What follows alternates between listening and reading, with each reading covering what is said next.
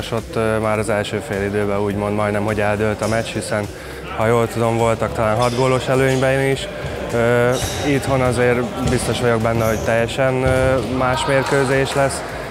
Nyilván készülünk a szokásos módon edzésekkel, videókkal, de bízunk benne, hogy itt az utolsó előtti hazai rangadón itthon tudjuk tartani a két pontot, és minél több néző kilátogat majd a mérkőzésre.